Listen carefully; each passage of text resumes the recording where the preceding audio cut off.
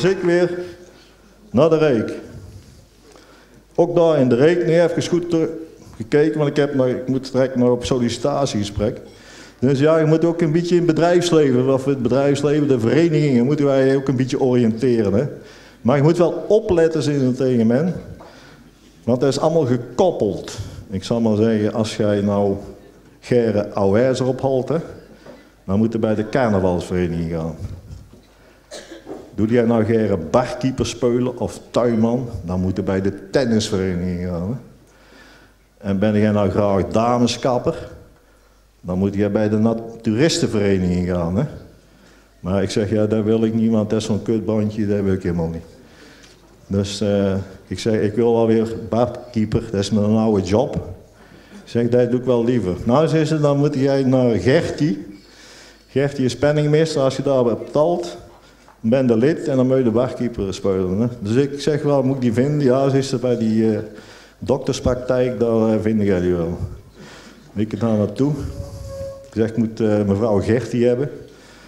Ja, zegt die, kom maar gauw. Zegt. Zeg, en Gertie, wat zal het zijn? Ik zeg, kun jij mijn lid maken?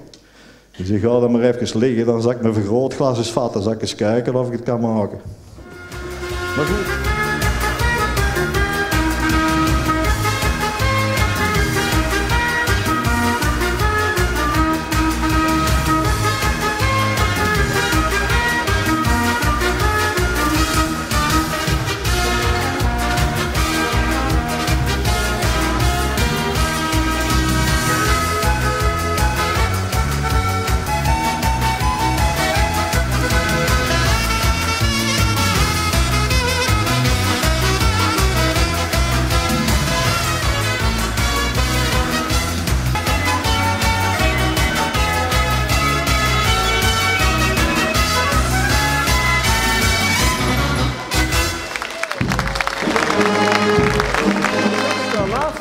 Uit Zeeland en de boer uit Schaik. En ineens springt die boer uit Zeeland op van zijn buik die zit. Ik ben de beste minnaar van Lambert. Hij zegt, ik ben de beste minnaar van Lambert. Ik heb het vannacht twee keer met mijn vrouw gedaan. En daar was zij zo tevreden over, dat ik vanmorgen ontbijt op bed kreeg. Oh, zit die boer uit Schaik. Ik heb het vannacht drie keer met mijn vrouw gedaan. En daar was zij zo tevreden over, dat ik vanmorgen een champagne ontbijtje kreeg. En, uh, en jij? Hoe vaak heb jij het met je vrouw gedaan? Zie ik? Nou, één keer. Eén keer maar? En wat zei je vrouw vanmorgen dan wel niet? Mijn vrouw? Schat, zullen we even stoppen voor het ontbijt? Oh, zit die boer uit Zeeland? Maar, maar ik heb een koe. Ik heb een koe. Die is zo slim. Als ik ochtends te laat ben, heeft hij zichzelf al gemolken en een melkbus aan de weg gezet. Oh, zit die boer uit Schaik? Maar ik en een paard, die is zo slim. Als ik ochtends te laat ben, dan heeft hij de hele akker al omgeploegd. Ik heb thuis een ezel. Die doet de hele huishouding. maar, maar, zit die boer uit Schaik, maar... Als ik met mijn tractor om al mijn land moet rijden, dan ben ik twee dagen onderweg. Ja, zo'n tractor heb ik ook gehad. Zijn mensen, ach maar leuk dit. Gisteren stond ik nog op de rand van de afgrond. Vandaag ben ik al een stap verder. Maar als ik, nederig als ik ben, een groot cabaretier mag citeren, Toon Hermans, die zei ooit, maar er is geen aangenamere val dan carnaval. Yeah, I, I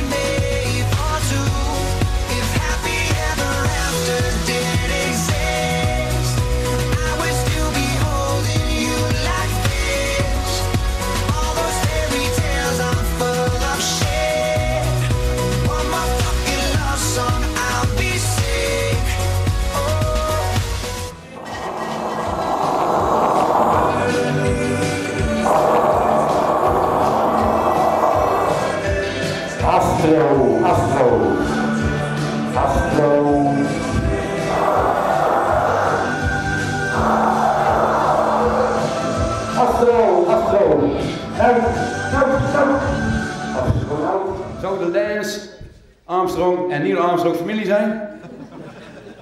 Denk het wel, allebei een carrière naar de maan, hè? Maar.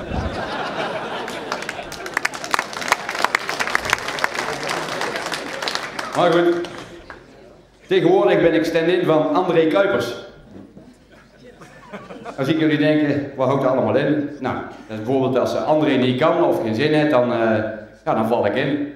Bijvoorbeeld eh, handjes schudden, eh, lintjes doorknippen. Ja, bijvoorbeeld vorige week moest hij naar de tandarts, want die had een getje. Had hij niet zijn zin in en dan gooi ik. Ah, hij is bang voor zijn gehemelte. Maar hoe komt er nou aan zo'n baan? Ja, gewoon solliciteren. En ik had mijn naam mee. Kuipers. Ik was al een tijdje werkloos en op weg naar het arbeidsbureau. Ik kwam langs het politiebureau. Zie ik een postertje hangen. Ik naar binnen. Zegt hij die body-medewerker van... Hey, eh, ik zie dat jullie een moordenaar zoekt. Ja, ze zegt, dat klopt. Ik zeg, ja, het is niet het mooiste werk, maar doe het. Ja, waar uh, holleder was me al voor geweest. Ja, de concurrentie is moordend hè, in dat vakgebied. En het is crisis en zo. En het losgeld van Heineken waren op. Dat was nog geen guldens. En nou wou holleder wou weer pieken. Maar ja, dat baantje was dus vergeven. Dus ik, politiebureau uit, op weg naar het arbeidsbureau. Ik loop het arbeidsbureau binnen, gewoon lekker zitten. Was nog één stoelje vrij. Komt er een mooi blond mokkeltje binnenrennen. Oh, zo echt vol doorrennen. Oh, oh, oh, mag ik zitten, mag ik zitten, mag ik zitten? Ik ben zwanger, ben zwanger. Hoor, hoor helemaal in de war. Mag ik zitten, ik ben zwanger. Ik zeg, ja, kom maar, gaat maar hier op de plek. Ik maak wel stoelje vrij. En ze gaat er zo zitten. En ik zeg, nou, je ziet er nog niet heel veel van, eh, van jouw zwangerschap. Nee, ze, maar het is ook, ik ben pas een half uur zwanger en ik ben er heel, heel erg moe van. Man, man, man. En wij maar menen. Je kunt me hier direct begraven. Ik zweet mijn eigen Oh. kapot. Ja, hallo. Vind je dat gek? Wat? Ja, met zo'n ontplofte schapendoes op mijn kop. Jongen, jongen. Ja, doe maar gerust af. Ja. Dat is beter, hè? Nou, nou, nou. Nou, wij, wij kunnen echt niet meer mee met die dansmariekes. Nee. Het is echt klaar. Nee, het gaat niet meer. Het was echt de laatste keer. Ah. Verschrikkelijk. Die rekjes die passen niet meer. Nee, al lang niet meer. Die gaan er niet meer overheen. Nee. Dat, Dit is het we kunnen nog zo'n ding proberen. Maar, Maar ook daar helpt niet. niet. Het is, Het enigste is die schoen. Die passen nog. Ja, Ja. nou, Daar hebben we het dan ook mee gehad. ben ik dan ook blij mee. Oh, man. Oh, Hoeveel heb jij er eigenlijk? ja, veel te veel. Eh. Oh, oh, hela. Oh. Ja. Oh, oh, nog eentje. Ja, Dat was het ik denk dat ik het wel gehad heb nou. Oh, dat scheelt al. Man, Jongen, jongen. kun je me niet eens helpen? Wat? Ja, ik krijg geen lucht meer, joh. Geen lucht? Nee. Nou, kom hier dan. Dan ga ik het staan. Met een dikke kont. Nou, oh man. Petro die zin daar van de week nog, dat ik zo'n dikke kont had. Het lelijk lijkt, wel jongen, een, hè? het lijkt wel een wasmachine, zit hij. Toen kroop hij gisteren tegen mij aan. Ik zeg, nee, nee, nee. Ik zeg, je moet niet menen dat ik voor zo'n klein wasje mijn wasmachine laat draaien. Dat gaat hem niet worden. Het uh, kelenbeeldje. Het kelenbeeldje wordt traditiegetrouw uitgereikt aan iemand die zich verdienstelijk heeft gemaakt voor de Reekse gemeenschap. Meestal is dat één persoon. Vandaag willen we echter twee personen tegelijkertijd eren met het kelenbeeldje. Omdat beide zich op bijzondere wijze verdienstelijk hebben gemaakt voor de Reekse gemeenschap op meerdere terreinen. Hij is creatief. Dat mag van haar trouwens ook gezegd worden. Beide zijn lid van verenigingen die ons dorp kleur en inhoud geven. Hij op sportief gebied, hij heeft op sportief gebied zijn sporen verdiend. Zij is muzikaal, op meerdere terreinen actief. Je kunt aan hem ook gerust eh, hard vragen wat te organiseren. En aan haar met bijvoorbeeld een collecte aan andere mensen te denken. Een echtpaar waar je altijd een beroep op kan doen en mag doen. Of er nu een koor gedirigeerd of een eeuwfeest voor een voetbalvereniging georganiseerd moet worden. Of er nu een pronkzitting optreden of een optocht gejureerd moet worden. Zij zijn er. Het Kelenbeeldje 2013 is dit jaar toegekend aan twee bijzondere mensen. En het Kelenbeeldje gaat naar Henk en Ellie Hendricks Klievink.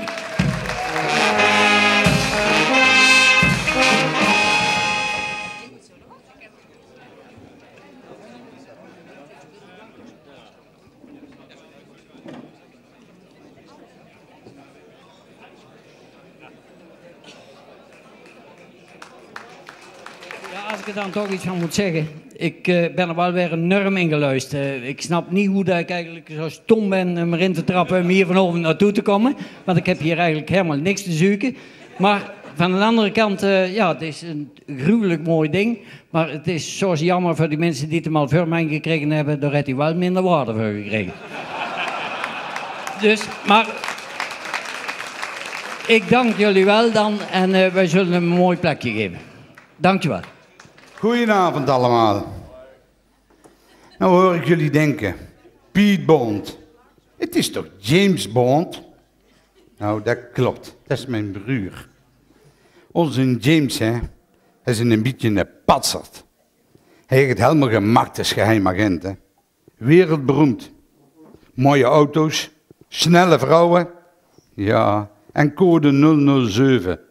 License to kill. Ja, eigenlijk wilde ons pap en ons mam geen kinder meer, onze James.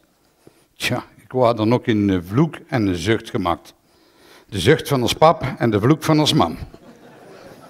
Maar ja, toen ons mam zwanger was van mij, hè, had dat botskniek een wachttijd van negen maanden. En ik ben nooit op tijd, dat bent hier de ik, maar toen wel. Ja, ik ben nu samen met als vrouw bezig met het tweede deel van 50 tinten reis. En dan heb ik al wat dingen uitgeprobeerd, hè. Gisterenavond nog. Maar toen ik van mij naar beneden keek, leek het wat 50 tinten blauw. Nee, nou lezen we het boek eerst maar eens helemaal uit. En wat er dan gebeurt, dat is echt geheim.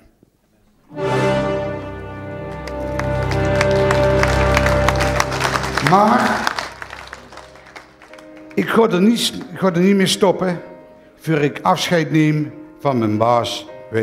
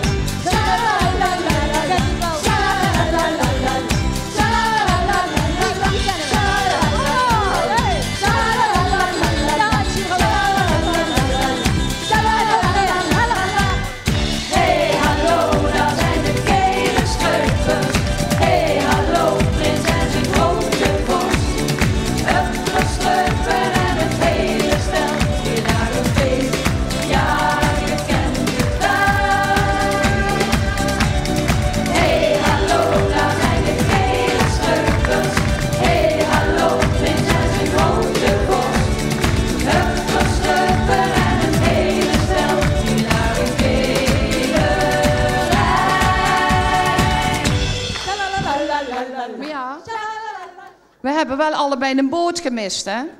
En nou zitten we hier. We kunnen slecht het hele jaar Sinterklaas en Zwarte Piet blijven. Weet je, het is Hospas, hè? Dan spelen we voor paashaas of konijn. Ik stond laatst voor een poppenkraan, daar zag ik mooie poppen poppen staan. Ik zei, wat doen die poppen hier? Die poppen drinken toppenbier. Die poppen drinken Kijk, Sinterklaas. Er komen een paar vrolijk Nou, wat terug in uw rol, hè? Anders weten ze niet wat hun overkomt. Wiet, wiet, wiet, wiet, wiet, wiet. Gadverdamme, het zijn er nog twee van die lelijke jongen ook nog. Ik hoop niet dat ze op een slip komen zitten. Boe. Helemaal niet zo vrolijk. Helemaal niet. Nee. Gloeiende, gloeiende, gloeiende, gloeiende. Nou hebben we toch Sinterklaas en Zwarte Piet gemist? Is het verdorie al eind januari? Hartst carnaval? En dat hebben ze nog niet gezien. Die zitten natuurlijk al lang in Spanje. Met de witte hit en de pepernotenbal. Och, och, och, och. Kleine, lieve, zielige, gruwelijke, lelijke, schele jong dat jullie bent. Hé, de jullie zo'n verdriet. Omdat jullie Sinterklaas en Zwarte Piet gemist hebt? Ja. Nou, dan heb ik goede nieuws voor jullie. Want we zien er nog. Ja, die gapert van de Klaas, die had een boot gemist. Ja, kon ik toch ook niet weg. Maar, eh, zak hem er eens bij roepen. En trouwens, Zwarte Piet, Ja. waarom heb jij zo'n grote zak? Ja, hallo, wat wilde? Ik kom maar één keer per jaar. Oh, er zit niks in. Nee, niks. Voor ons geen één cadeautje. Nou, nou, nou, Leslie. Wij gaan naar huis, want er zit geen één cadeautje in. Hoort, volgende keer. Hé, hey, hallo? Wat verdorie? Wat is er nou weer? Jongen, jongen, jongen. Hebben wij de boot gemist? Per die rotjong er ook nog tussenuit? Nou ja, kom maar. We zien wel hoe dat we in Spanje terechtkomen. Hey, verrek de snot, jong. Hé, hallo. Zullen we maar beginnen, Dirk? Hoogste tijd. Ons eerste agendapunt is van het hart. En ehm, Dirk, ik heb het helemaal gehad met die vrouwen. Het is mij al lang duidelijk waarom ik getrouwd ben. Alle vrouwen zijn hetzelfde. Het gaat ze maar om één ding, Dirk. Staat er s'avonds in de kroeg. Komt er weer zo in aan met de gladde praatjes. Ja, en dat is ook wel een beetje mijn eigen schuld, hè, want ik word gewoon te snel verliefd, Dirk. Ja. Ik word gewoon net iets te snel verliefd. Ze raakt me haar aan de praat en dan belooft ze mij de wereld. Zo ga ik met haar mee naar huis. Want ik denk, dit is de ware, hè. Dus ik, ik, ik, ik, in mijn alle integriteit, mijn naakte eh, onschuldigheid, geef ik me over aan, dat, aan, aan die vrouw. En dan blijkt haar de volgende dag alleen maar om de seks te gaan. Dan voel ik me enorm gebruikt. Ah Bart, ik heb jou toch al vanaf het begin gezegd, begint er dan toch ook niet meer aan, jongen. Ik wist vanaf het begin af aan al met ons vrouw dat dat niet goed zou gaan. Dat komt, ik ben namelijk een steenbok en zij, zij is echt een enorm kutwijf.